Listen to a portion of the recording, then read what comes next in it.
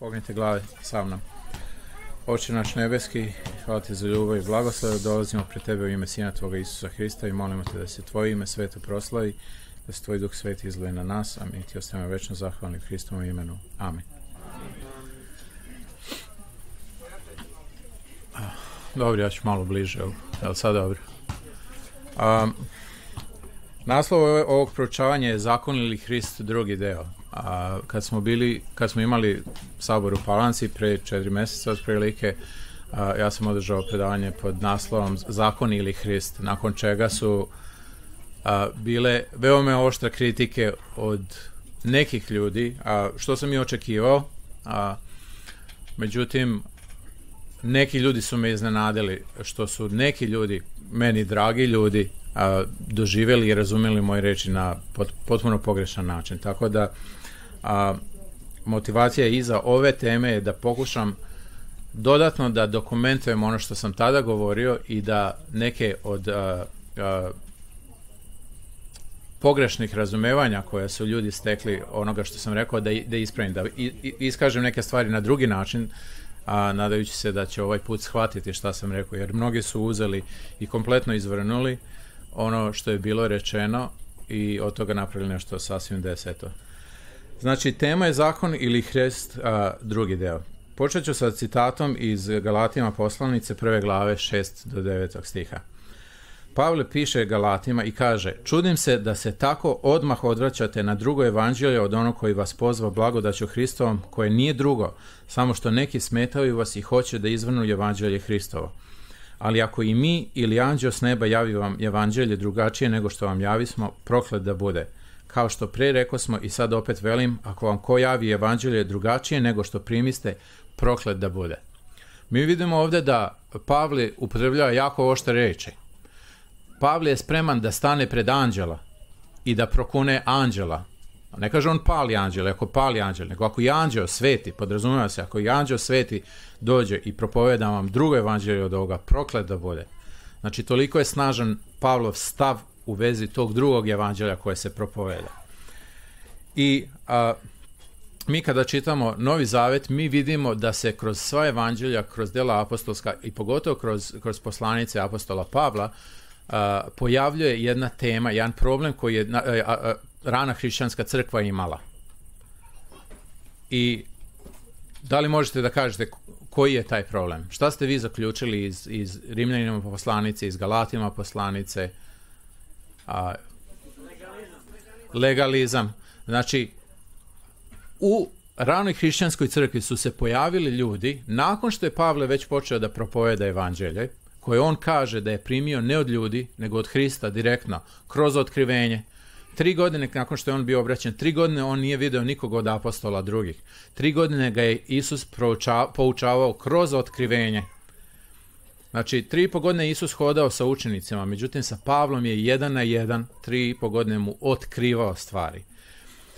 I Pavle je jako čvrst u tome što veruje, međutim pojavljuju se ljudi koji dovode u pitanje Pavlov autoritet, Pavlovo evanđelje, koji a, govore da odnos Pavlov prema zakonu nije dobar i pokušavaju da unište ono što Pavle radi. Znači, taj problem koji je rana hrišćanska crkva je bio problem legalizma, problem odnosa prema zakonu. Taj problem, a, verujem da su većina od vas upoznati sa 1888. godinom, je imala i adventistička crkva, naši pioniri i kao što vidimo i danas mi imamo taj isti problem. Znači ta propoved moja od pre četiri mjeseca je bila raščerečena od, strane nekih ljudi, ja vjerujem da su većina koji su bili na tom kampu primili blagoslove iz toga, međutim nekima je toliko zapela za oko da su jednostavno upotrebili sva moguća sredstva a, da je napadnu. Zašto?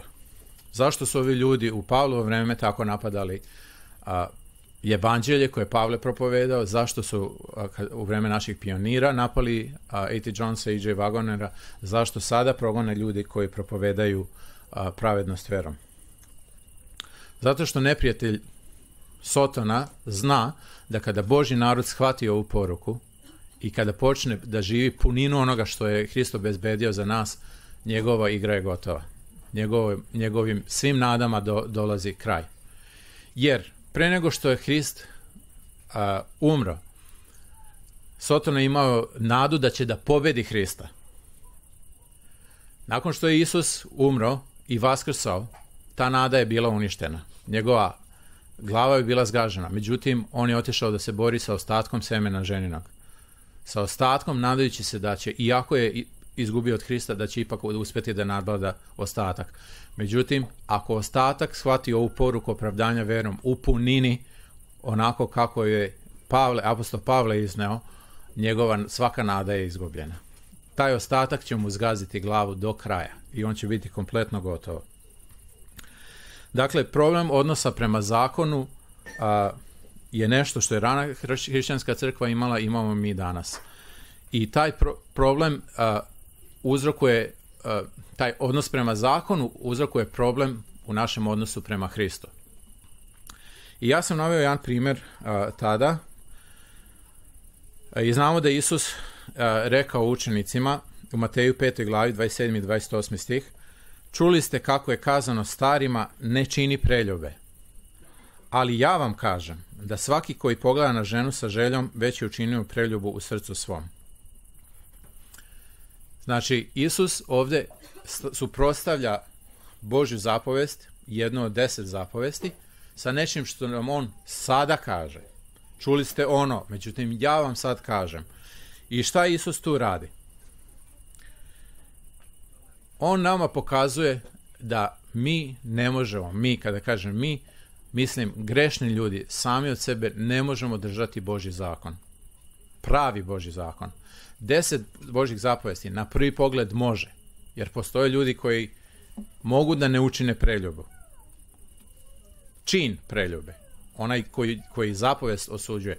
Međutim, Isus kaže da dubina Božjeg zakona ne završava se samo u toj zapovesti, nego ide do te mere da, da a, moramo da preispitujemo i svoje misli, ne samo svoje dela, ono što činimo, nego svoje misli. I kaže, ako pogleda ko sa željom, već je učinio preljubu u svom srcu.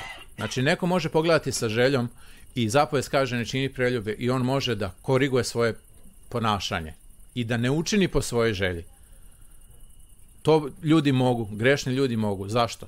Zato što ima brak koji ne želi da izgubi, ima decu koje ne želi da izgubi, ne želi, ima status u društvu, ne želi da se osramoti, da ljudi počnu o njemu loše da govore.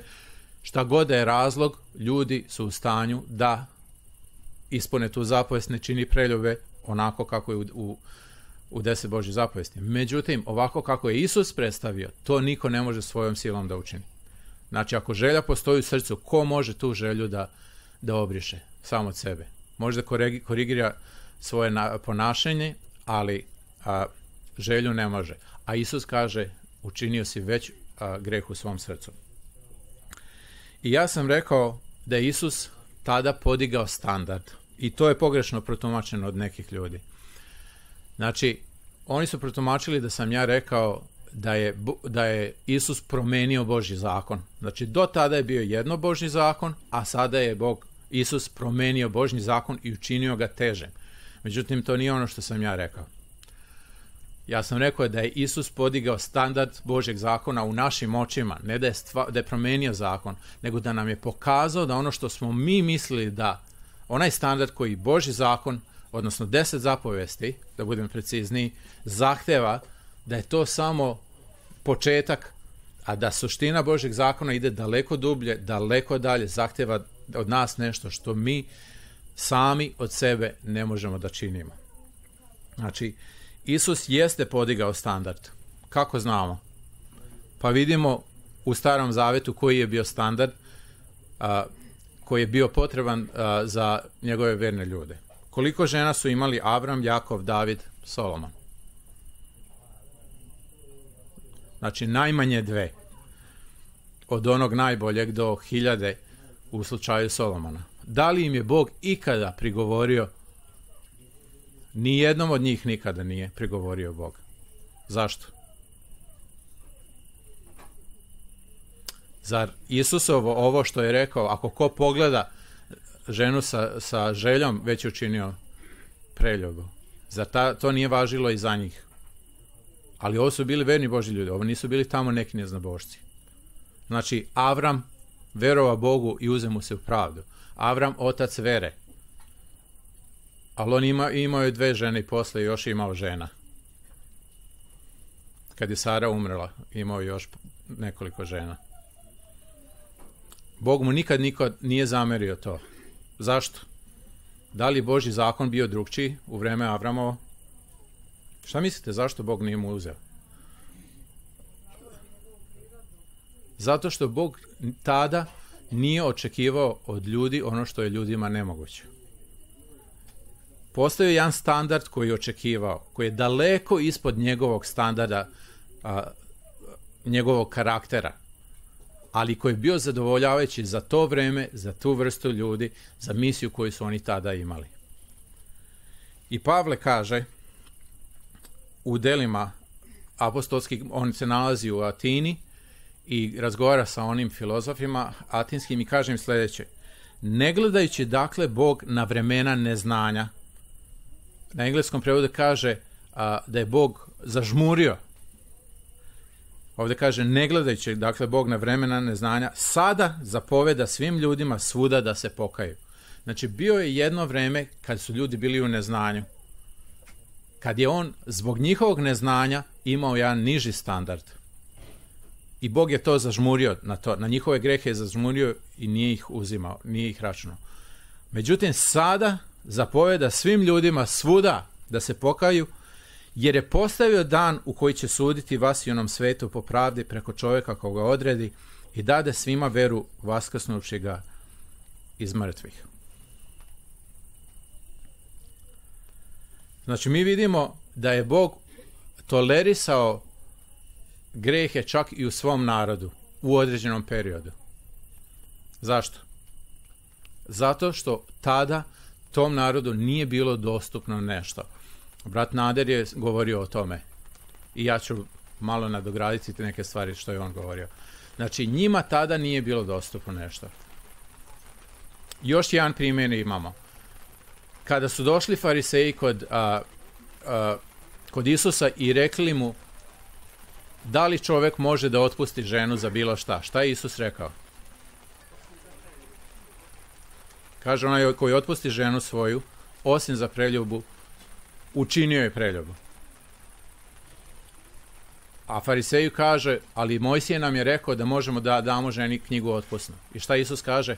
Da. Znači, Isus kaže, po tvrdoći srca vašeg Mojsije vam je dozvolio.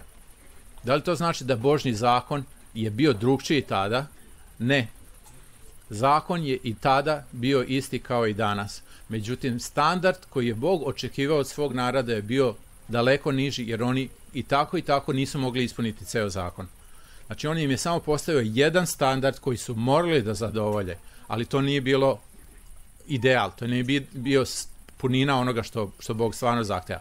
Ali zbog njihovog stanja, zbog vremena u kojem su živjeli, zbog tvrdoće srca njihovih, on je odredio jedan standard koji je zahtevio, koji je bio minimalan, koji zadovoljava da se oni mogu nazvati njegovim narodom, da im oni mogu ispuniti misiju.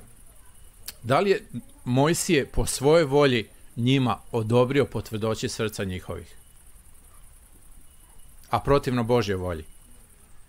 Ne, on to nije mogao. On ne može po svoje da kaže, ok, Bog traži ovo, ali ja znam da su oni tvrdovrati, ja ću njima da dozvolim. Znači, Mojsije im je dozvolio zato što mu je Bog rekao da im dozvoli. Bog nikad nije promijenio svoj zakon, ali je Bog pokušavao da ostvari nešto i radio je sa onim što je imao na raspolaganju. Znači, ako vi gradite kuću, a nemate cigle, nemate blokove, nego imate samo blato i slamu, kako ćete kuću sazidati? Sa onim što imate na raspolaganju. To je, to je Bog radio u tom vremenu.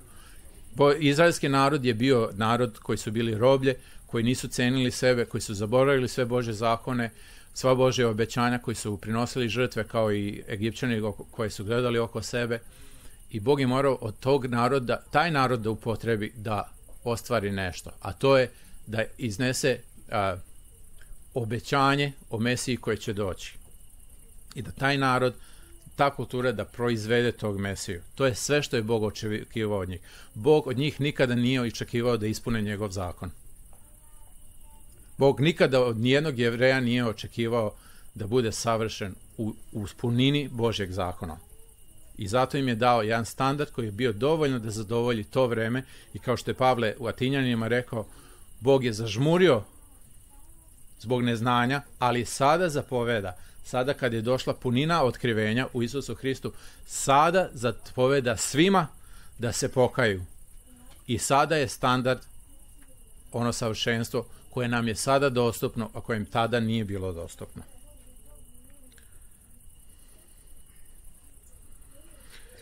I u Jevrejima prvoj glavi, prvom stihu čitamo, Pavle kaže, Bog koji nekada mnogo puta i različitim načinom govori očevima preko proroka, govori i nama u posljedak dana ovih preko sina. Znači, u starom zavjetu Bog je govorio preko proroka. Međutim, u novom zavjetu on govori preko sina. Šta on nama govori preko sina što nije mogao reći preko proroka? U čemu je razlika? Molim? Mogao je pokazati neke stvari koje se ne mogu reći. Znači, preko proroka je mogao samo da kaže i ostalo je nama da verujemo prorocima da je to tako. On je mogao da čini čuda da potvrdi ono što su proroci govorili, ali nije, nije mogao sve. Ja sam naveo taj primjer kako možemo znati da je Bog otac krotak. On sedi na prestolu, car slave, svi sveti anđeli mu se klanjaju, nikome ne duguje ništa, od nikoga nije dobio ništa, od nikoga ne prima savjet, nikomu ne može reći nešto što on ne zna, nikomu ne može dati nešto što on nema. Međutim, on je krotak u srcu i smeran. I sada da proroci, da on kaže prorocima idite recite mom narodu da sam ja krotak i smeran u srcu. Kako on sad to da, da dokaže? Tako što će otvoriti more? Da li će nam to pokazati da je Bog krotak? Ne. Tako što će pobiti Egipćane u, u tom moru? Ne. Tako što će a, poslati ona zla na Egipat? Ne. Znači, manifestacija njegove moći i reč proročka ni na koji način ne može da nam otkrije da je Bog krotak i smjeran u srcu. Jedino preko Sina Božeg on je mogao da pokaže da je Sin njegov krotak i smjeran u srcu i onda da Sin kaže koji vidi mene, vidi Oca. I onda mi znamo ako je, otac, ako je Sin jagnje, to znači da je i Bog jagnje. Znači, to novo otkrivenje donosi nešto kvalitativno novo u odnosu na, na proroke. Bog nam sad daje jedno novo otkrivenje i to novo otkrivenje je praćeno sa nečim što, nas, što će nas osposobiti da postignemo puninu standarda Božjeg zakona. Znači ne onaj koji je bio dat potvrdoće srca njihovih i za privremeno vreme da bi se ostvarila određena misija. Nego sada, da bi se ispunila svrha čitavog plana spasenja, on nam daje puninu otkrivenja u njegovom Hristu, u njegovom sinu Isusu Hristu, koji je savršeno otkrivenje njegovog karaktera, njegove volje i sa njim nam daje još nešto. Nešto što nas osposobljava da postignemo taj standard koji, koji Isus demonstrirao u njegovom životu. I Pavle govori Galatima sljedeće u trećoj glavi. O nerazumni Galati, ko vas je općinio da se ne pokoravate istini? Vi kojima pred očima beše napisan Isus Hristos, a sad se među vama razape. Ovo jedno hoću od vas da doznam, ili duha primiste kroz dela zakona ili kroz čuvenje vere. Tako li ste nerazumni, počevši duhom, sa telom svršujete. I ovo se odnosi i na nas, antitrinitarce. Kako smo mi antitrinitarci došli u ovu situaciju gdje smo sada, gdje smo sada okupljeni ovdje i propovedamo pravednostnom verom koja podrazumeva da je Isus sin, doslovni sin jedinorodni Boži. Kako smo mi došli dotle? Milošću ili E sad moram da, kad je spomenuto milošću, brat Nader je, je često govorio i Dragan je dobro prevodio, upotrebljavaju reč blagodat. Međutim, u našim prevodima Biblije često je umjesto reći blagodat prevedeno kao milost Milost i blagodat nisu ista stvar. Milost je kad vam neko oprosti, milostiv je prema vama. Međutim, blagodat je nešto što vam neko daje da vas osposobi za nešto. I Biblija često govori o tome, međutim, ako čitate onaj prevod koji upotrebljava reč milost, vi ne, ne možete da shvatite u stvari šta govori. Vi se fokusirate samo na to da vam je neko oprostio nešto, međutim, Bog nam daje ne milost, nego nam daje blagodat, daje nam silu da nadvladamo i da, da ostvarimo. Znači, mi smo blagodašću, blagodašću a, a, spašeni da, ali govorim sad u kontekstu toga nas antitinetaraca. Kako smo mi došli do toga da smo ovde sada i verujemo da je Isus doslovni sin Boži za razliku od drugih koji su recimo ostali u adventističkoj crkvi ili drugih denominacija. Verom, upravo to, jer smo pročitali šta Božja reč kaže. I dozvolili smo Duhu Božem da nas osvedoči. Znači, verom smo postali antitrinitarci, jer smo uzverovali reč Božju. Nismo videli čuda da su se desila. Nismo, nije niko među nama išao i lečio i sad taj čovjek koji je lečio, činio čuda, sad nam on kaže pa na račun čuda mi mu verujemo da je Isus sin Božji. Ne, nego na osnovu reči Božje mi verujemo da je Isus sin Božji doslovni. I zato smo sad tu. Ako smo verom krenuli na ovaj put, ovog pokreta, ocu i sinu, o nerazumni antitrinitarci, ko vas je općinio da se ne pokoravate istini? Vi kojima pred očima beše napisan Isus Hrist, a sad se među vama razape. Ovo jedno hoću da vas, od vas da doznam. Ili duha primiste kroz dela zakona, ili kroz čuvenje vere. Ako smo verom došli ovdje gdje smo sad, kako se sad vraćamo na dela zakona i, i pokušavamo sad na, dalje, nakon što smo došli do, do ove tačke, vraćamo se i pokušavamo delima zakona da se opravdamo. I odrećemo se tog sina Božeg za kojeg smo se borili protiv a, trinitaraca do nedavno. Tako li ste nerazumni, počevši duhom, sad telom svršujete. Koji vam dakle daje duha, sad pazite dobro, ovo je jako važno da se ispravno razume i verujem, ja samo ovog pre kad sam čitao nisam razumeo. Koji vam dakle daje duha i čini čudesa među vama, čini li delima zakona ili čuvenjem vere? O kome je ovdje reč? Ko je taj koji nam daje duha i čini čudesa među vama? Neko je rekao Bog Otac, neko je rekao Hrist. Ja mislim da se ne radi ni o jednom ni drugom. Radi se o apostolu. Pavle je bio taj koji im je davao, sad naša reč davanje je malo, može pogrešno da se shvati. Pavle je bio službenik ili đakon duha. Pavle govori o službi smrti ili službi du, uh, zakonu ili službi duhu. On je bio minister, on je bio službenik duha. On je bio taj koji je prenosio Božeg duga, služio tog Božeg duha drugima. I on je bio taj koji je među Galatima činio čudesa. Jer kaže sljedeće, kako znamo da se ne radi o Bogu Ocu? Jer u istoj stihi kaže, koji vam dakle daje duha i čini će čudesa među vama, apostol, ja, čini li delima zakona, vidite ovdje da se ne radi o Hristu, ne radi se o Ocu, čini li delima zakona ili čuvenjem vere? Otac ne čini ništa čuvenjem vere.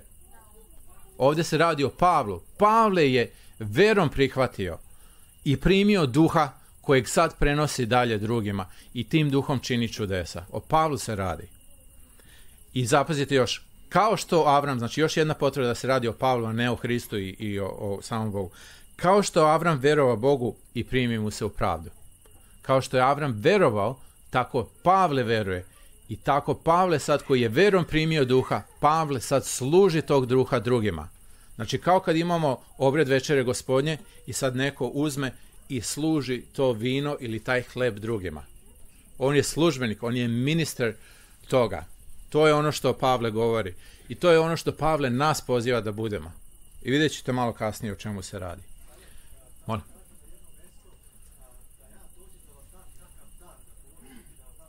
Da. Da. Znači, naša dužnost, kada shvatimo pravednost vremom ispravno, je da ne služimo više slovo, nego duha. Duh koji je u nama, da ga služimo drugima. Duh Isusa Hrista. I sad, jedna fascinantna izjava koja je bila od jednog, jedne osobe koja je me napala zbog te propovedi. On kaže, Isusa ne možemo razumjeti bez zakona. Znači, ja sam tamo predstavio, verujem da ste većina vas pogledali, i rekao sam da fokusirajući se na zakon, na zapovesti koju kažu ne čini ovo, ne čini ono, mi ne možemo ispuniti zahteve koje taj zakon a, zahtjeva. Mi možemo samo prepoznati koliko nismo dostojni i koliko ne ispunjavamo taj zakon. Međutim, ako se fokusiramo na Isusa Hrista, kroz njega smo u stanju ispuniti zahtjeve tog istog zakona. Međutim, ovaj čovjek kaže potpuno obrnuto. Mi Isusa ne možemo razumjeti bez zakona. Mi da bismo Isusa razumjeli, mi moramo proučavati zakon. Zamislite koliko je to absurdno. Znači, ja moram proučavati zapovest koje kaže ne ubi da bih razumeo Isusa Hrista, a ne obrnuto. Međutim, Pavle kaže sljedeće. Šta će dakle zakon? Znači, da li je zakon dat da bismo mi mogli da razumemo Hrista, kao što je ovaj brat rekao? Pavle kaže ne, nego radi greha dodade se dokle dođe seme koje mu se obeća. Ili Isus Hrist. Znači, zakon se dodao dokle semen dođe koje se Avramu obeća, u kojem će biti blagosloveni svi narodi na zemlji. I postavili su ga anđela rukom posrednika. Vi vidite da zakon nije dat da bi mi razumeli Hrista, nego da bi nas čuvao dok Hrist ne dođe i preuzme. U Galatima 3. glavi od 21. do 27. stiha kaže E da li je dakle zakon protivan običanjima Božim? Bože sačuvaj, jer da je dan zakon koji može živjeti, zaista bi od zakona bila pravda. Ali pismo zatvori sve pod greh da se obećanje dade kroz veru Isusa Hrista onima koji veruju. Koje obećanje se daje kroz veru Isusa Hrista onima koji veruju? Čuli smo danas prilikom krštenja obećanje očevo koje, za koje Hrist kaže čuste od mene. To obećanje se daje onima koji veruju. A pre dolaska vere, pre, nešto, pre nego što smo mogli da primimo to obećanje, bismo pod zakonom čuvani i zatvoreni za veru koja će se, se htede pokazati, koja je tek trebala da dođe. Ta vera, Isus Hrist, obećanje, tek treba da se pokaže. Ali do tada smo zatvoreni pod zakonom i čuvani. Tako nam zakon bi čuvar do Hrista da se verom opravdamo. A kad dođe vera ili Hrist, već nismo pod čuvarom, nismo više pod zakonom. Jer ste svi vi sinovi Božim verom Hrista Isusa. Jer koji se god u Hrista krstiste, u Hrista se obukoste. I ovo je bitno za razumjeti. Kada je Nader imao propoved, došlo je do, do, do jednog određenog nesporazuma, kada je on pitao da li je u starom zavetu neko pre Isusovog a, raspeća i vaskrsenja, da li je neko bio kršten duhom svetim. On nije pitao time da li je neko bio pomazan duhom svetim. Biti kršten duhom svetim i biti pomazan duhom svetim nije isto. On nije pitao da li je neko primio silu duha svetoga. Biti kršten duhom svetim i primiti silu duha svetog nije isto on je pitao nešto što Biblija uči, a to je, jer koji se god u Hrista krstiste, u Hrista se obukoste. Pre Hristovog e, smrti, vaskrsenja, uznesenja i proslavljena na nebu. Niko se nije mogao obući u Hrista. To je ono što je on pitao. Krštenje duhom svetim je oblačenje u Isusa Hrista. To je, to je ono što je, što je Nader govorio.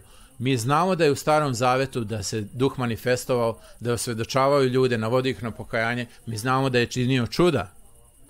Sami apostoli, tri i po godine su oni hodali sa Isusom i šta su radili? Šta su radili? Ono isto što je Isus radio. Lečili, izgonili džanobale, podizali mrtve. Međutim, kad je došao trenutak, Isus kaže, ne idite nigde iz Jerusalima, nego čekajte dok se obučete a, u silu s visine. I kaže, čekajte da primite obećanje očevo koje čuste od mene. Šta je, pa, šta je a, Jovan Krstitelj rekao? Ja krstim vodom, međutim za mnom ide neko koji će vas krstiti duhom svetim. To je budućnost Isus je tek trebao da dođe i tek trebao da osposobi, da bude osposobljen da može da krsti duhom svetim. Niko pre toga nije bio kršten duhom svetim. Apostoli su dizali mrtve, izgonili demone, lečili i čak i Juda koji je izdao Isusa je to radio. Međutim, niko od njih nije bio kršten duhom svetim. Imali su silu duha svetog, ali kršteni nisu. Biblija nam jasno kaže da tek kada se Isus uznese, on im je rekao, tek tada sedite i čekajte dokle primite obećanje očevo koje čuste od mene. Krštenje duhom svetim je nešto sasvim drugo od primanja sile duha svetog. I dalje kaže u Galatima, jeste vi svi sinovi Božji verom Hrista Isusa, jer koji se god u Hrista krstiste, u Hrista se obukoste. Vidjet ćemo malo kasnije šta to znači. To znači, to ovo oblačenje u Hrista znači novorođenje. Pogledajmo sad jednu scenu koju nalazimo u otkrivenju 12. glavi. A, svi znamo da je Sotona zbačen s neba. Je tako? Kada je Sotona znač, zbačen s neba?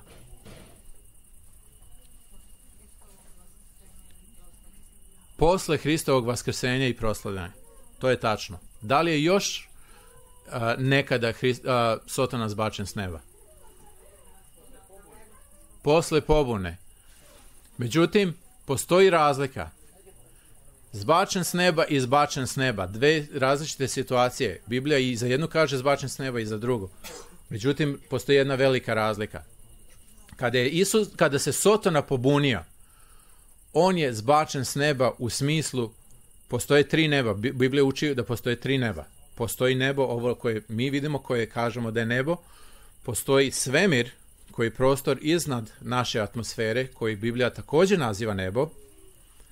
I onda postoji ono treće nebo o kojem Pavle govori da znade čovjeka koji je otišao na treće nebo, a to je gdje je presto Boži.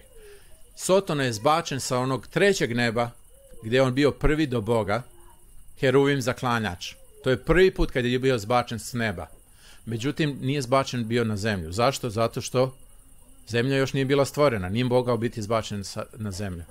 Međutim, kada je došao trenutak kad je on razapeo sina Božeg i kada je taj sin Boži vaskrsnut, uzneo se na nebu, tada je Sotona bio po drugi put zbačen sa neba izbačen na zemlju. I ovdje u otkrivenju imamo taj izveštaj o tom drugom izbacivanju s neba. Većina ljudi kad čita ovo smatra da je to, da je to izbacivanje ono prvo. Pročitajmo šta piše, o čemu se radi. Znači, otkrivenje 12. na glava nam govori o istoriji a, borbe Sotone i, i Hrista. I u petom stihu kaže, govoreći o ženi, Znači, pojavljuje, pojavljuje se na sceni žena koja stoji na mjesecu obučena u sunce. I kaže, i rodi muško, sina koji će pasti sve narode s palisom gvozdenom i dete njeno bi uzeto k Bogu i prestolu njegovom. A žena pobeže u pustinju gdje imaše mjesto pripravljeno od Boga da se onamo hrani 1260 dana. Znači, ovdje se jasno govori o Isusovom rođenju. Je tako? Nakon što je ta žena ili crkva proizvela Mesiju, Isusa Hrista, ona, dete bi uzeto k nebu, k Bogu na nebu i prestao njegov, Isus se vazneo, a žena pobeže u pustinju gde, pustinju gdje imaše mjesto pripravljeno 1260 dana. Je tako? I dalje kaže, i posta rat na nebu, znači nakon što se to dete uznelo na nebo i žena ga u pustinju, tada postaje rat na nebu, Mihajlo i anđeli njegov udariše na ždahu i bise ždaha i anđeli njeni. I ne nadvladaše i biše im se ne nađa mjesta na nebu. Izbačena bija ždaha velika stara zmija koja se zove Đavo i Sotona koja vara sa vas i oni svet. Izbačena bi na zemlju. Nije samo izbačena sa neba, nego izbačena na zemlju. Znači zemlja postoji. Ona je prvo izbacivanje s neba nije moglo biti izbacivanje na zemlju jer zemlja još nije bila stvorena. I anđeli njeni izbačeni biše s njom.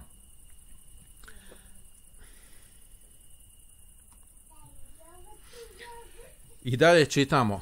I čuh glas veliki na nebu koji govori, sad posta spasenje i sila i carstvo Boga našeg i oblast Hrista njegovog, jer se zbaci opadač braće naše koji ih opadaše pred Bogom našim dan i noć. I oni ga pobediše krvlju jagnjetovim i reče svjedočanstva svog i ne mariše za život svoj do same smrti. Šta ovaj stih kaže? Kada je postao spasenje i sila i carstvo Boga našeg i oblast Hrista njegovog? Koji je to trenutak u istoriji? Pedesetnica. Kada je Isus proslavljen, tada je Sotona zbačen, tada je postala spasenje.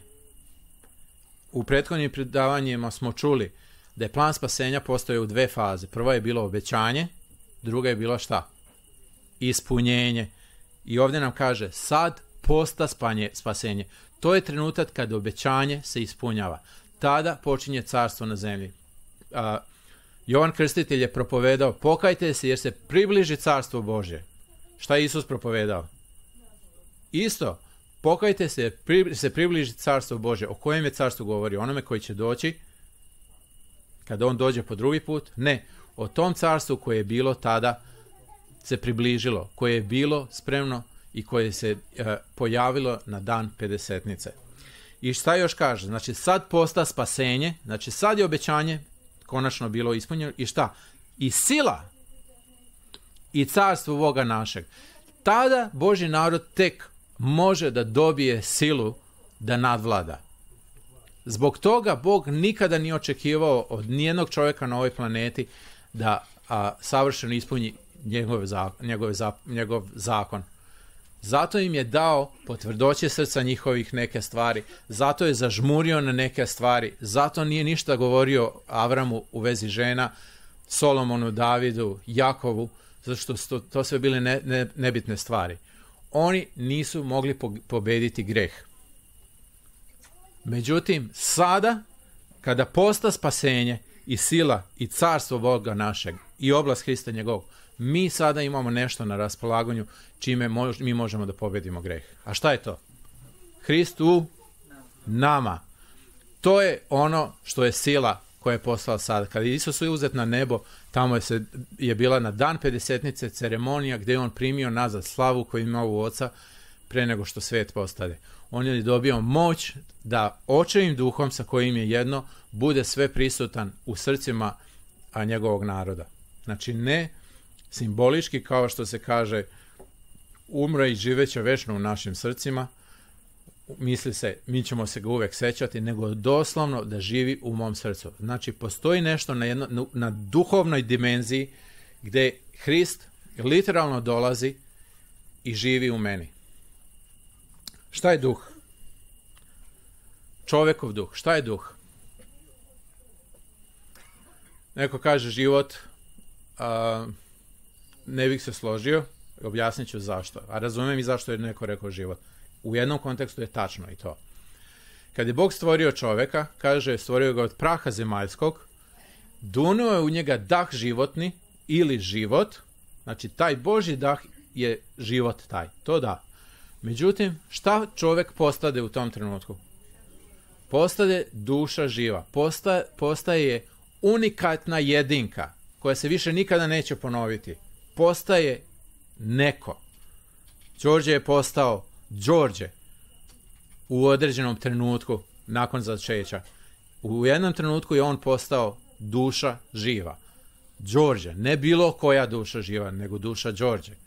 Tako i Adam, kad je Bog udahnuo dah životni u njega, Adam je postao Adam. Ono što je on, što čini njega Adamom za razliku od mene. I on i ja smo ljudi. Svi smo mi ljudi. Ali Adam je Adam, ja sam Saša, Đorđe i Đorđe. Svi smo mi unikatni. Mi svi smo mi te duše žive.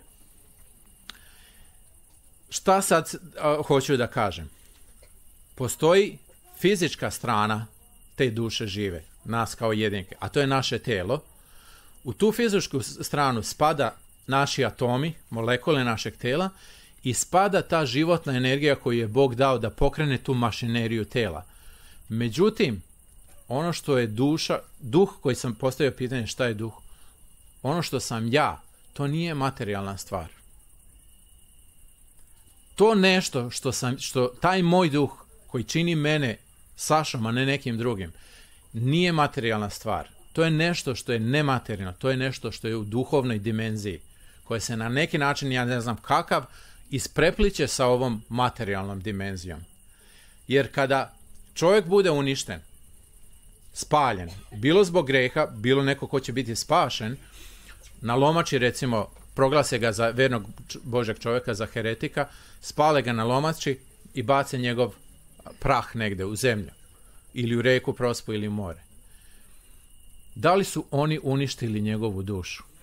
Ne, jer oni ne mogu. Šta kaže Biblija? Ne bojte se oniga, onih koji mogu samo telo uništiti, nego bojte se onoga koji može i dušu i telo baciti u oganj. Znači, ljudi Sotona, niko ne može fizički uništiti dušu, mogu uništiti samo telo, međutim postoji duša ili duh čoveči koji je unikatan i koji ne može biti uništen materijalnim sredstvima jer on nije materija, on je duh. On funkcioniše na, na, u, duhe, u, duh, u duhovnoj sferi, u duhovnoj dimenziji, ali na neki način je ispre, ispleten sa mojim telom i vezan za njega. Kada Božji duh dolazi, kada bivamo kršteni svetim duhom, šta se dešava? U toj duhovnoj dimenziji mi imamo duh čoveči, moj duh, i dolazi duh Boži koji postaju jedno. Oni se sinhronizuju i postaju jedno. To nije postalo dok Isus nije postao čovek, bogo čovek, koji je pobedio greh, umro, vaskrsao, uzeo se na nebo i dobio silu da se sada vrati kao taj duh, kao pobednički duh Bogo čoveka koji sa mnom sada postaje jedno.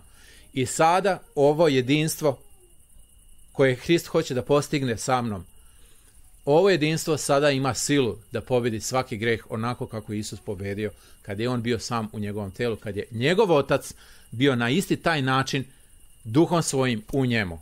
I to Hrist hoće da postigne u nama. Ja u vama i vi u meni, kao što je moj otac bio u meni i ja u njemu.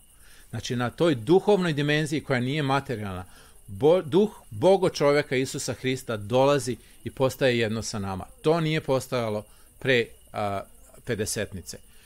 To spajanje Hristovog pobjedničkog duha sa našim je krštenje svetim duhom o kojem je Jovan Krstitelj govorio kada je rekao a, ja krštavam vodom, ali iza mene dolazi onaj koji će krstiti duhom svetim. To je ono o čemu Isus govorio čekajte u Jerusalimu dok primite obećanje očeva koje čuste od mene i bit ćete kršteni duhom svetim. To je ne, ono kada je postalo spasenje i sila i carstvo Boga, našeg i oblast Hrista njegovog. I samo još jedan stih završni iz te scene kaže i kad vide Aždaha da zbačena bi na zemlju gonjaše ženu koja rodi muško. Znači vi vidite da je ova uh, jasno da je ova ždaha zbačena na zemlju nakon što je žena rodila muško. Znači ne radi se o onom zbacivanju izbacivanju iz neba, nego se radi o trenutku kada je postalo sila i carstvo i spasenje. I u Luki 24.49 čitamo te stihove koje sam ja već spomenuo gdje kaže Isus i gle, ja ću postati obećanje oca svog na vas, a vi sedite u gradu Jerusalimskom dok se ne obučete u silu svi sine. I u delima 1, 4 5 čitamo i sabravši ih zapovedi im da ne idu u Jerusalima, nego da čekaju obećanje očevo koje čuste reče od mene. Jer je Jovan krstio vodom, a vi ćete se krstiti duhom svetim nedugo posle ovih dana. I mi imamo, znači u delima apostolskim 2.33 izveštaj o tome šta se desilo. Znači oni su čekali kako im Isus zapovedio, i šta se desilo na taj dan kada je ispunjeno to obećanje očevog o kojem je Isus govorio.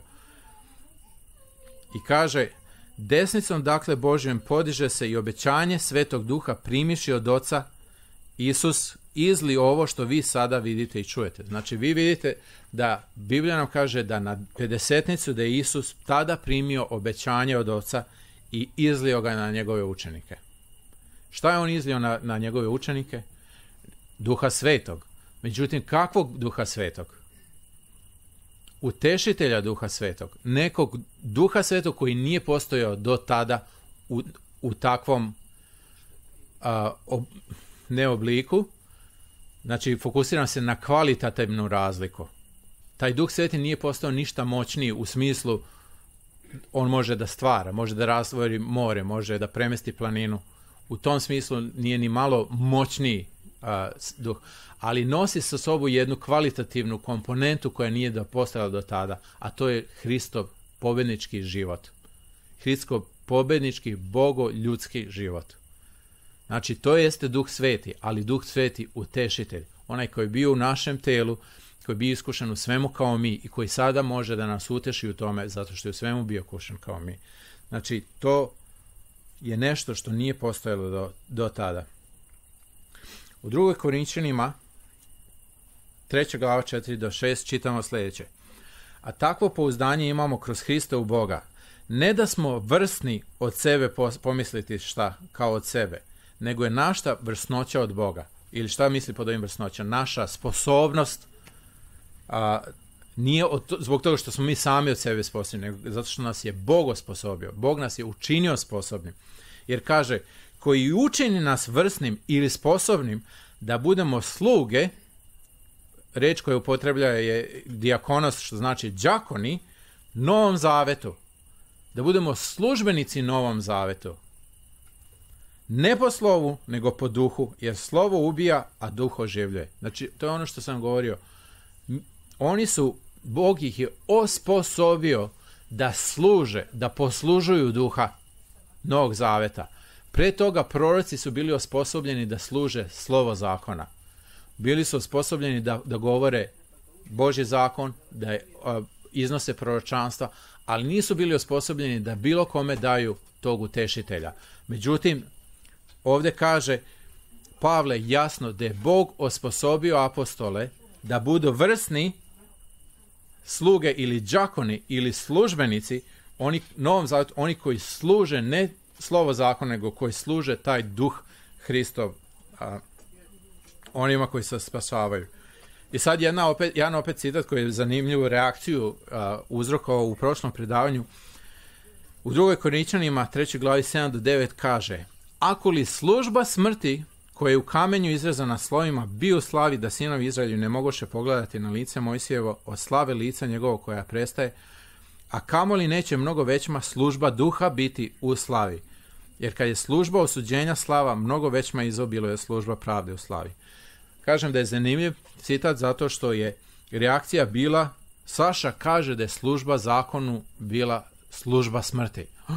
Strašno. Jeres. Međutim, ja sam samo citirao Pavla. Pavle kaže da je služba smrti. Ellen White također govori o tome i govori o službi smrti. Upotrebljava baš taj izraz, služba smrti. Ja nisam izmislio taj izraz. Međutim, ljudi ne razumiju šta to znači.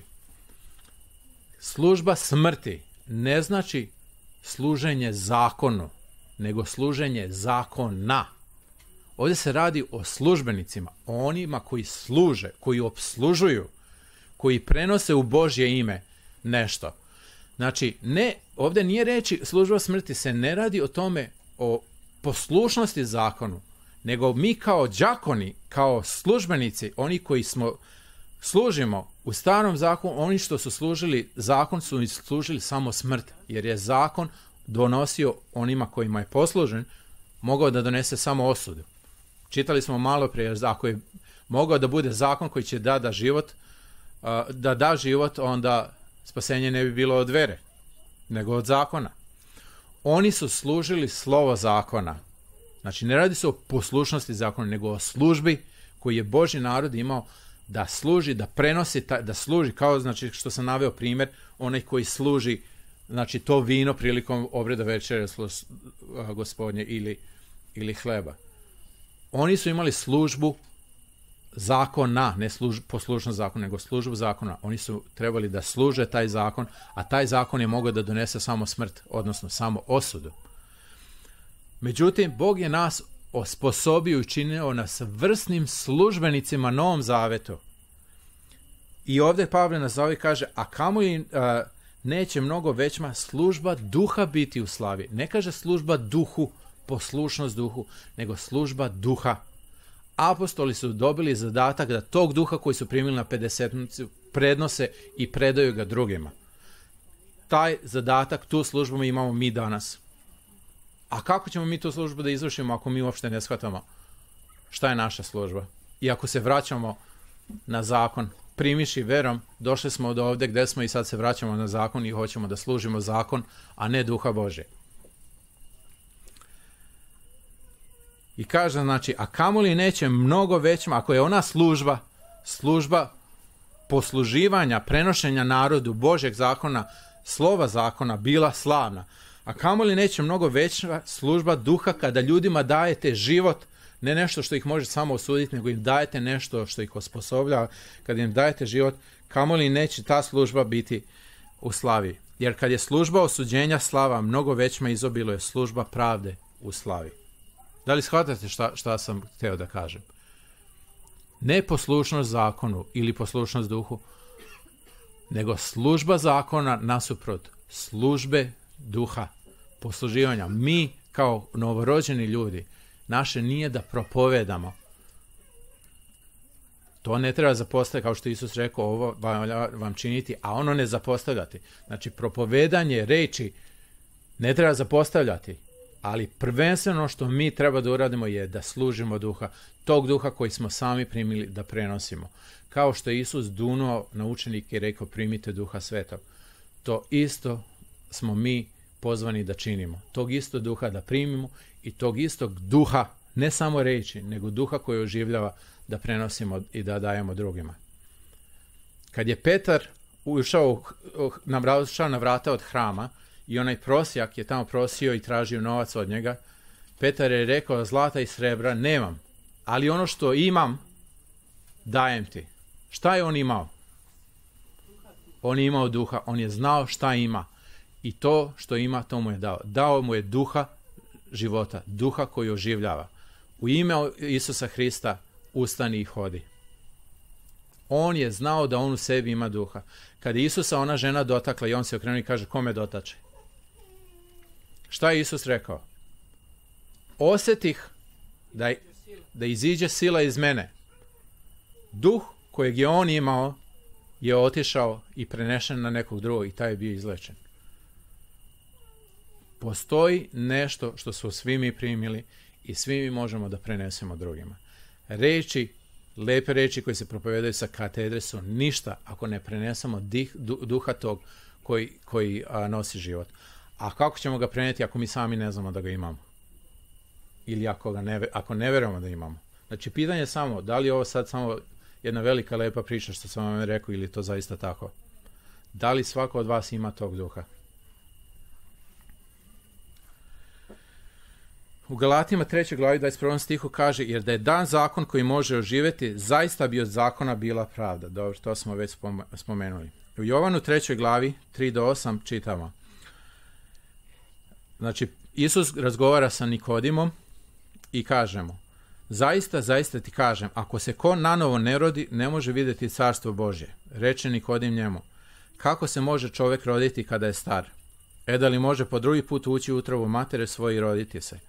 Odgovori Isus, zaista, zaista ti kažem, ako se ko ne rodi vodom i duhom, ne može ući u carstvo Božje. Što je rođeno od tela, telo je, a što je rođeno od duha, duh je. Ne čudi se što ti reko, hvalja vam se nanovo roditi. Duh diše gdje hoće i glas njegov čuješ, a ne znaš otkuda dolazi i kuda ide. Tako je svaki čovjek koji je rođen od duha.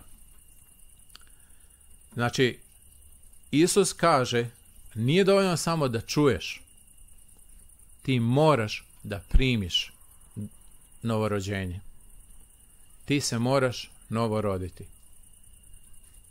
I šta to znači novoroditi se? To znači biti kršten duhom svetim. To znači taj pobjednički bogoljudski život, da, duh da bude, kako da kažem, sintetiziran sa našim duhom da postaje jedno. Sjedinjen sa našim duhom i da mi funkcionišemo kao jedno. Međutim, postoje problemi koje ćemo vidjeti u tome. U Galatima 5. glavi 16 do 18 Pavle kaže sljedeće. Velim pak, po duhu hodite i želja telesnih ne izvršujte, jer telo želi protiv duha, a duh protiv tela. A ovo se protiv jednom drugom da ne činite ono što hoćete. Ako li vas duh vodi, niste pod zakonom. I vidite sad ovdje ključ, ključ te kontroverze u kojoj se nalazimo. Naša braća insistiraju na zakon, zakon, zakon, zakon. I ako mi kažemo Hrist, Hrist, Hrist, Hrist, oni kažu vi ukidate zakon. Ovaj zadnja, zadnji stih vam govori, ne radi se o ukidanju obaveze, govori se o vodstvu ko vas vodi. Ako ti gledaš u zakon i zakon kaže ne ubij, zakon te ne, ti ne daje pravednost. Zakon te samo sprečava da učiniš delo grešno, ali te ne čini pravednim. Međutim, ako gledaš na Hrista, ako te On vodi, On ti daje pravednost koja je od Boga, Božju pravednost. I ti ispunjavaš zahtjev koji, koji zakon zahteva. Ali ga nisi ispunio zato što ti je zakon naredio koji ti nije mogao dati ništa, nego zato što pratiš Isusa Hrista. Znači radi se o tome koga pratiš, a ne da li, da, da li je zakon obavezan ili nije. Zakon je obavezan, ali mi ne možemo ispuniti njegove zahtove uh, proučavajući ga. Možete proučavati zakon koliko god hoćete, nikada ga nećete ispuniti proučavajući ga, jer u sebi nemate silu. Mi moramo pratiti Hrista, mi moramo biti pod Hristom, a ne pod zakonom. Znači ne pod obavezom, nego pod vodstvom zakona. Mi govorimo da vodstvo zakona ukinuto, vodstvo Hristovo nastupilo, zato što Hrist nas može pokazati ne samo put, nego nas osposobiti, dati nam silu da ispunimo zahtjeve zakona. I Pavle kaže, a ja više ne živim, nego živi u meni Hristos, a što sada živim u telu, živim verom Sina Bože, kome omilek i predade sebe za mene. I zapazite, kaže, ne odbacujem blagodati Božje, jer ako pravda kroz zakon dolazi, to Hristos uzalud umre. Na engleskom kaže, ne frustriram blagodat Božju ili ne suprostavljam joj se. Jer ako Isus dolazi i daje vam dar svoga života, a vi kažete ja moram ispuniti zakon, šta ste uradili sa Božjim darom? Odbacili ste ga. Frustrirali ste, onesposobili ste Božju namjeru da vas spasi. Jer vi kažete, ne, ja neću tvoje spasenje, ja hoću svoju pravdu, ja hoću da ispunim pravdu. Jer kad bismo mi uspjeli proučavanjem zakona ispuniti taj zakon, čija bi to pravda bila? Naša pravda. A naša pravda, što Biblija kaže, je kao prljava krpa. Mi hoćemo Božju pravdu. I Nadir je govorio o tim stvarima. Ljudi nisu poznavali, nisu razumeli Božju pravdu, jevreji pogotovo, ali i mnogi među nama danas, i zato su pokušavali da ostvare svoju pravdu. Mi to nećemo, mi nećemo svoju pravdu. Čak i kad bismo mogli, a ne možemo, a čak i kad bismo mogli, mi ne želimo, mi hoćemo Božju pravdu. I ovdje Pavle kaže, a ja više ne živim, ja više ne pokušavam da ispunim zakon, nego živi u meni Hristos. A što sad živim u telu, živim verom Sina Božeg, jer verujem da On ispunjava pravdu koju zakon zahteva. Ja više ne pokušavam da ispunim tu pravdu, nego dozvoljavam Isusu da On ispuni pravdu Božju u meni. Ne odbacujem blagodati Bože, znači ne suprotstavljam se Bogu, Božem pokušaju da me spasi tako što pokušavam da ostvarim svoju pravdu, jer ako pravda kroz zakon dolazi, to Hristos uzalud umre. Mislim da je to sasvim jasno sada o čemu mi govorimo. Jovan 1.17 kaže jer se zakon dade preko Mojsija, a blagodat i istina postade od Isusa Hrista. Znači to je isto ono o čemu smo čitali u otkrivenju 12. glavi. Sad postade sila, spasenje i sila i carstvo gospoda ga našega zakon, slovo zakona i služba zakona u smislu sveštenske službe zakona se da, je data preko Mosija, a blagodat, ne oproštenje, ne milost, kao što na puno mjesta se u našim prevodima koristi, nego blagodat, ono što te osposobljava, što čini, što ispunjava Božju pravdu u tebi, postade od Isusa Hrista. Kada? Na dan pedesetnice. Blagodatu, dobro. Na našem jeziku a, može da se tako razume. U Galatima 5.25 kaže Pavle jednu jako zanimljivu, jednostavno kratku izjavu, ali jako zanimljivu. Ako u duhu živimo, po duhu i da hodimo. Pavle nam je ovdje rekao da postoji mogućnost da u duhu živimo, da smo primili duha, ali da ne hodimo po duhu. Je li tako? Zašto bi nam, ako je to uzročno posljedično, ako si primio duha, automatski, hteo ti ne hteo, ti hodiš po duhu, Zašto bi nam Pavle govorio kao savjet, kao preporuku, ako u duhu živimo, po duhu i da hodimo. Znači, postoji mogućnost da mi ne, imamo duha, ali da ne hodimo. I to je onaj problem koji mi imamo. Zbog toga je čitao ovaj kamp praktična primjena pravednosti i verom. Ja mislim da svi vi verujete da smo primili tog duha Sina Bože koju nama viče Ava Oče. Međutim, mi smo svesni činjenice da mi i dalje činimo greške i neko čini i grehe. Je li tako? Jel ima neko od nas da je prestao da čini greh? Od kako je saznao ovu istinu? Hajmo junaci. Niko se ne javlja. A zar vas to ne frustrira? Zar vas to ne opterećuje? Zar ne razmišljate nekad? Ja vjerujem da svako od vas razmišlja kao što i ja razmišljam. Kako je moguće da ova istina, ova predivna istina ovog Sinu Božem koji živi u meni ne donosi rezultate? A Pavle jasno kaže, primio si duha, a da li hodiš po duhu? Da bi rezultati, da bi se plodovi vidjeli, ti moraš hoditi po duhu, ne samo da si ga primio, a postoji mogućnost da si ti primio duha, ali ne hodiš po tom duhu. Znači, o čemu se radi? Taj naš duh i Hristov pobjednički božansko-ljudski duh su sjedinjeni. To je ta nematerijalna dimenzija, to je to novo stvorenje, novo rođenje. Međutim, tamo kaže, ne vladajte se po ovome svetu, nego budite, šta? Transformisani obnovljenjeg uma. To dolazi nakon rođenja, nakon što je u meni novorođen čovjek duhovan. Moj um mora biti još uvijek oblikovan, jer moj um je čitav život bio punjen sa razno raznim smećem. I sada moj duh me potiče na nešto. Međutim, moj mum, što kaže, fercera kako on hoće. I tu dolazi do tog sukoba. Duh hoće jedno, međutim, um radi onako kako je on navikao da radi. I mi moramo naučiti da hodimo po duhu. Da čujemo, da osluškujemo taj glas duha koji je u nama. Za koji znamo da je u nama. Zašto znamo? Iako nema plodova. Zato što je Bog rekao tako. Ako je Bog tako rekao, a čitali smo sve što je rekao, onda je to tako. Bez obzira što mi svojim očima ne vidimo. Taj duh je u nama, mi smo ga primili, ali mi ne hodimo po duhu zato što smo navikli da hodimo po telu, da slušamo svoje misli. Naš um koji je zapravljan, koji ne funkcioniše kako treba, da donosimo odluke po njemu.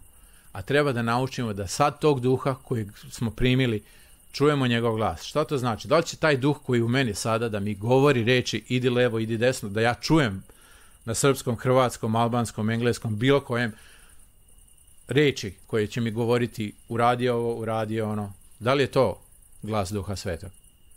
Ne. To je dimenzija koja nije materijalna, koja nije vizualna, koja nije audio dimenzija, to je dimenzija ta van materijalna, duhovna dimenzija, gdje duh Boži svedoči u duhu mome. I ja moram naučiti da hodim po tom duhu. Ja moram da naučim da osjetim te signale. Ja vjerujem da svako od vas imao to iskustvo. Kad ste osjetili um vam sve govori ovo, ovo, ovako, ali vi osjetite da nešto to nije u redu. Kad pogledate sve činjenice, one govori jedno, ali duh vam govori nešto nije u redu. Ne, ne čini to. Nemoj tamo ići, idi ovamo. Nema nikakvog glasa. Ali vi jednostavno to osjetite. To je taj duh. Mi moramo naučiti da hodimo po tom duhu. I moje pitanje za svakog od vas. Da mi odgovorite. Znači nije retoričko pitanje. Da li ste novo rođeni? Da. I to je pravo, pravi odgovor. Znači, neko će reći, pa kako si novorođen ako... Jesi, ko od vas juče u prošloj sedmici nije učinio ni jedan greh? Pa kako ste novorođeni onda? Ok, iskajali ste, ali kako novorođen čovjek učini greh? Kako je to moguće? Da li to znači da nisi novorođen? Ili znači da si bio u jednom trenutku novorođen, pa si se odrodio, pa sad moraš ponovo da se rodiš? Kada mi padnemo nakon što smo novorođeni, zato što još ne znamo da hodimo po duhu, da li Bog nama oduzima pravo novorođenja? Da li nam on oduzima sinaštvo koje nam je dao, kaže da nam Hrist je dao autoritet da budemo sinovi Boži. Da li nam oduzima on to pravo? Ne oduzima nam, nam pravo.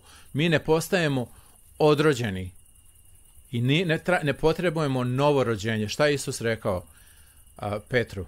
Opravo nam ne treba ništa do samo noge oprati. Onaj deo koji si nakon novorođenja zaprljao, samo taj deo je potrebno ponovo otprati. Ne treba ti novorođenje. Mi smo novorođeni onog trenutka kada uzverujemo Isusa Hrista svojim srcem i posvjedočimo svojim ustima da je On gospod. Mi se tada rađamo u jednom trenutku jer je to besplatni dar Boži. To je ta sila koja postade na dan pedesetnice. Tada je postala sila i spasenje i carstvo Boga našega. Tada je nastalo nešto što nikada u istoriji do tada nije postojalo. Tada je postalo nešto što mi u trenutku kad uziramo Isusa Hrista kao svog spasitelja dobijemo kao besplatni dar i Bog nam to nikada više ne oduzima. Na nama je samo da dozvolimo Bogu sada da nas nauči da hodimo po tom duhu. I čitamo u drugoj Petrovoj, trećoj glavi 17 i 18. A vi dakle ljubazni, znajući napred, čuvajte se da prevarom bezakonika ne budete odvedeni s njima i ne otpadnete od svoje tvrđe. Neko napredujte u blagodati, u poznanju gospoda našeg i spasa Isusa Hrista, njemu slava i sad i u večna vremena. Amin. Znači ono što je Bog započeo u nama, doveo nas je do ovde sa ovom istinom, otkrio nam je predivne istine. Sad se ne trebamo vraćati nazad na zakon i obnavljati ono nešto što je Bog već uništio da bi izgradio novo. Ne budite prevareni od bezakonika. Jer ti koji se pozivaju na zakon su bezakonici. Ti svi koji viču zakon, zakon, zakon, a Hrista ne prihvataju i nas optužuju da ukidamo zakon, oni sami krše taj zakon na koji se pozivaju. Da li ste primetili? Svi smo, verujem, imali iskustvo sa braćom trinitarcima kada svjedočimo o Isusu Hristu koji je jedinorodnim sinom Božjem, da oni kažu, a vi kažete da Isus stvoreno biće, a vi kažete da Isus nije Bog, a vi kažete da Duh Sveti ne postoji. I sve tako nešto što mi nikad nismo rekli. Šta oni rade? Svedoče lažno na bližnjega svog. Jel tako? Šta rade naša braća antitrinitarci koji veruju da je Isus sin Boži? Kada mi kažemo da kroz Isusa ispunjavamo zahteve zakona bez zakona, što je, što je Nader govorio, bez zakona pokaza se pravda Božja. Šta oni kažu? Vi učite da je zakon Božji ukinut. Je li tako? Šta je to? Svedočanstvo lažno na bližnjeg svojega. Znači oni, pokušavajući da odbrane zakon, krše taj isti zakon i bezakonice su. Ne dozvolite da ti bezakonici koji se odriču Hrista i uzdižu zakon, da vas prevarom svojom odvedu od spasenja koju je Isusu Hristu. Ja verujem da je to pravda ta koju mi moramo praktično da primjenimo, da naučimo da hodimo po tom duhu. Da naučimo da u svekoj situaciji, bez obzira na okolnosti, kakve god da su crne, kakav god greh da smo učinili jer smo pali, da budemo svesni da opranome ne treba doli a, noge oprati. Da nismo prestali biti sinovi Boži ako smo pali da ne moramo ponovo da se rodimo. Rodili smo se onda kad smo uzeli Isusa Hrista. Moramo biti samo obnovljeni, transformisani obnovljenje uma našeg. Ja vjerujem da je to ono što, što je naš zadatak, da dozvolimo, ne da učinimo, da ostvarimo, nego da dozvolimo Bogu, kao što je Pavle rekao, ne odbacujem blagodati Božje, ne frustriram je, ne suprostavljam se, ne bacam joj klipove u točkove da je zaustavim. Moramo dozvoliti Bogu da dovrši ono što je počeo u nama da se Hrist u potpunosti formira u nama. Ne samo u duhu, što već jeste, kao besplatni dar Boži, nego i u našem umu da zavlada kompletno. I kada ta, naš um bude obnovljen, tada će se ispuniti ono što kaže u Bibliji, ne znate li da svo stvorenje Bože stenje, očekujući pod pritiskom greha i posljedice greha, čekajući da se pojave sinovi Bože.